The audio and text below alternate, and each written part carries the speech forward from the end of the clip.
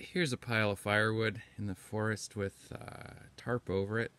But I've got some bowl stock in here, and there's something really cool to show you. So I've just left this in kind of a semi-moist, semi-dry environment. And if you look here, you're going to see all that white. Well, that's fungus. I think it's mycelium. I could be wrong. Uh, but what this is doing is this is showing me where the sound wood is.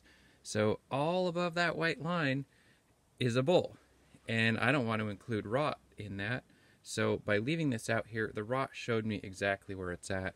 And then I can make a bowl without any rot. And that's going to have beautiful figure and grain. I can just see it.